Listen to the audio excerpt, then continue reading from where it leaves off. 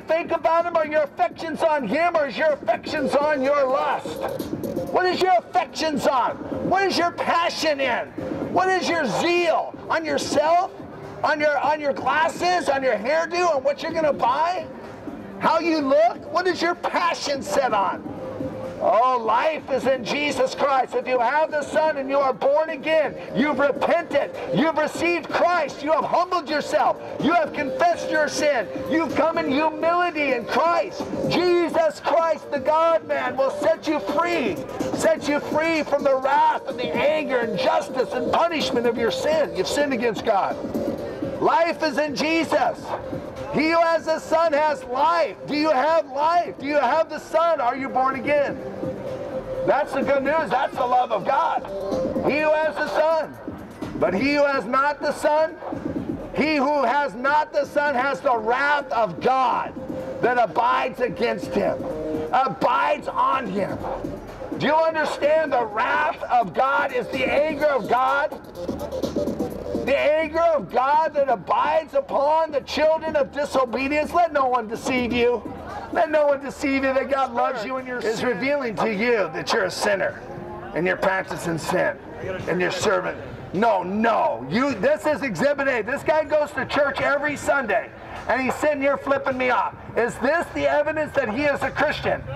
No, it's not. No, it's not. He's not a Christian. That that fruit is rotten. You don't flip off another man if you say you're a Christian. You're supposed to love your enemies. If I am his enemy, which I am a Christian, and he's supposed to be a Christian, So oh, then we're supposed to know gay people are not Christian. Homosexuals cannot be a Christian. Do you love your no, if you're a homosexual you and that you say you're a Christian, then you're no longer homosexual. I I have lots of friends, friends that have been homosexuals and have been changed, Wait, wait, wait. changed by the power of God and become Whoa. normal. It's a perversion. It's Do you demons. love- do you love homosexuals? Yes, I love homosexuals, Then why- but I ain't gonna have sex with them. I'm gonna tell them the truth. That's okay. Love is telling the truth. I tell you the truth.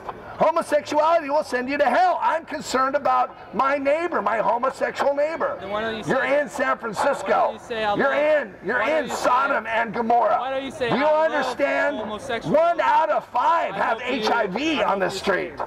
That's that. That's on the front page of the paper. Yeah. I'm telling you. It's true. It's true. Oh, I'm warning you of the coming judgment upon San Francisco. I'm warning you. Your sin will find you out, old man.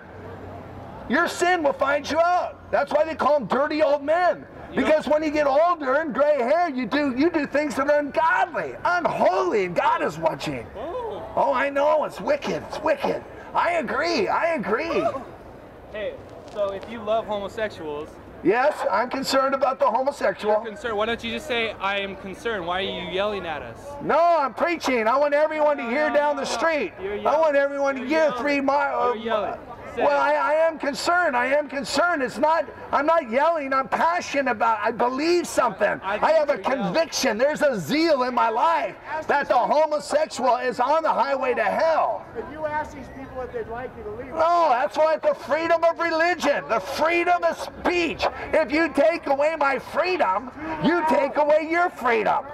Do you understand? I think I think the music over here is too loud and him playing. I, I think I think the guy that was cussing over here, that was foul in the presence of children. you. That guy- that guy's the only one that likes It's what you're too saying. Loud. No, I don't care if none of you like it. You know who loves it? Jesus Christ loves it. God loves it. It's the preaching of his gospel. You should have heard George Whitefield back in the day when he preached, he was heard for three miles. You're Oh, I bet you people were upset at that. You're spreading hate. No, I'm not. I'm spreading love. I'm telling you the truth. Spreading. Love. Power! Love, the love of God. Now we have a racist. We have a homosexual, then we have a racist. Oh, I'm not a I'll homosexual. tell you, we have a dirty old man, we have a racist. truth. Is it? Yes, Jesus Christ is the truth. I'm yeah. proclaiming to you Christ. Only Christ. It is by Him, through Him, in Him. Everything circles around Jesus Christ. Not around Joseph Smith. Oh, not around Allah. Not around any uh, Buddha, that fat guy, and not around any of these other things. It's around one man who rose from the dead. It's about His word that is living, powerful, sharper than any two-edged sword, and reveals to you your sin. Your sin. And about out of those seven billion, two hundred thousand are going to heaven, and the rest. Probably even probably even narrower than that. So there's gonna if be- eight people were saved in the day of Noah when the flood came down and destroyed all those people. Oh, I'll tell you, it's narrow. Narrow is the road. Difficult. Few are those who find it. I don't know if you're going to find it. So I don't know if you're going to enter in. People in heaven. Hey, there might be. God doesn't need anybody in heaven. God doesn't need us. See, that's your problem. You look at the people and you think that God needs these people in heaven. God doesn't need you in heaven. Why don't you go to hell? No, he makes a new heaven and new earth. God makes a new earth. The righteous dwell on it. No more wickedness. No more rebels. No more monsters of iniquity. You know what a monster of iniquity is? Oh, it's you. A monster of iniquity is when you take the throne of God and you do what you want. You sit on the throne and you rule. Every- We got a bunch of little gods here. Bunch of little gods, and everybody's in control. You're God.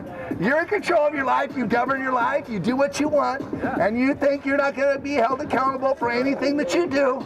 You lie to people. You steal from people. You look at pornography. You mass, You do all kinds of things that are wicked in the sight of God.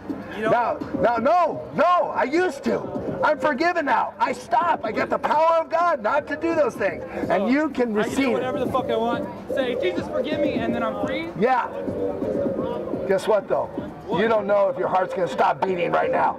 Your soul could be required of you right now. We can have an earthquake right now. You, you're you're not ready. I am. I'm ready. I live in San Francisco. I know there's going to be an earthquake here. I live on the fault line. San Andreas. Oh, yeah. Hey, I don't fear death. I, I'm, I'm saved. I have hope. I have a future. I have a destiny. God has given me a promise. You don't have any hope. You have no hope. No, I'm gonna, I'm gonna inherit the earth. I'm gonna be living on the earth. Oh, it's gonna be beautiful walking with Jesus. Oh, knowing Jesus. No more ripping. No one, no one ripping me off. Oh, no one lying to me. No more sin. Can you imagine living with no more sin? The love of God just floods your heart. You love everyone. Oh, you trust everyone. Oh, it's going to be beautiful. I want you all to be there. I want you all to get a vision. I want God. You know Jesus. It's good. Hey, we got another Christian here. Hey, we got another one. There's another one. There's one there and one here. Oh, I'm excited. You three. oh, look, there's another one. Oh, excellent. There's another one right there. I'll tell you. I'll tell you. I will say, there's living in San Francisco, there's very few. Very few. It is hard to be a Christian. It's the hardest thing in life. Ah, you got to battle all kinds of unseen forces. They come into my mind. Oh, they attack me. Oh man, I want to be faithful to my wife. I want to, I want to love my wife. I want to nurture my kids and all kinds of things. Try to take my time and romance and, huh? Where are those things? What, what causes you to do that which is ungodly or wicked? The principalities and the powers of the air. God says what you see is only temporary, but what is invisible is eternal. There's an invisible realm. There's an invisible realm that does things, does things to you, perverts, twists, lies, deceives. This is a perfect example of this pagan holiday. A perfect example is you deceive your children, telling them they're Santa Claus, telling them there's a reindeer, Tell them all these lies. Perfect example of the Roman Catholic Church created a pagan holiday that you, that you, unbelievers, the wicked, the ungodly, celebrate. I don't get it. I don't understand why you even celebrate this day except you love money. You love materialism. You love covetousness. You love, you love the thrill, the moment, the feeling. Oh, you have to escape the guilt, the pain, the wounds, the scars, the insecurity, the loneliness, the emptiness of life. You got to escape it. You got to escape the pain.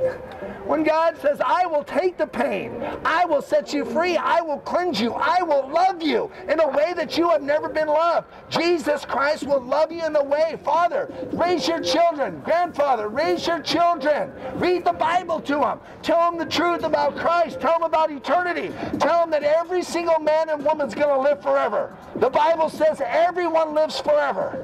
Everyone, eternal.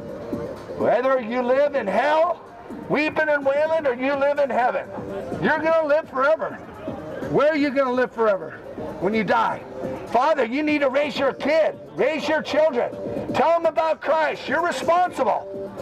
Man, I'd hate to be you, Father, when I stand before God and you have not told your son your son about their sin. When they